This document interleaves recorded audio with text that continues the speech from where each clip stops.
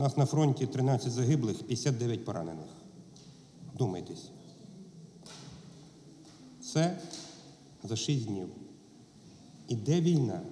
Виступило 40 чоловік. Крім одного виступу, ніхто про це навіть не згадав. Нам розказували, що, виявляється, два з половиною роки тому назад прийшов антисоціальний уряд. До цього Янукович був соціальний, а прийшов антисоціальний. Нам осталось ще Кисельова про цитувати розказати, що Україна напала на Росію і має війну, да? і вибачитись перед росіянами, перед їх агресією. Нам розказують, що треба турбуватись про народ. А ви знаєте, хто більше всього це розказує? Ті, хто намертво стоїть, щоб кошти Януковича не були конфісковані в державний бюджет. Ще раз звертаю увагу, це ж дуже просто. Слово і діло. 40 мільярдів ми можемо конфіскувати в державний бюджет, і з них тільки 10 іде на оборону. Я не говорю, що треба все віддати на оборону. Наша фракція пропонує 18 мільярдів гривень потратити на підвищення рівня життя. Нам розказують про турботу про населення.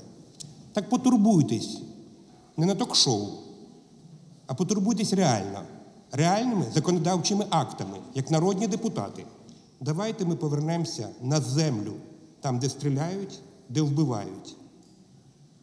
Щодо виборців, про яких так багато раз посилались, наші люди хочуть дві речі: це безпека, безпека нашої держави, безпека наших сімей, безпека нашого майбутнього.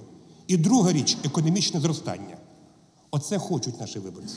І не жонглюйте, не брешіть, тому що більше половини з вас хоче розвалити цю державу по різним мотивам. Хтось виконує доручення Кремля, хтось думає, що на цих розвалинах він строїть удільне князівство і там буде царювати. Дорогі друзі, цей парламент працює. Ми створили найбільшу армію, і повірте мені, ми її озброїмо і не дамо розвалити нашу державу.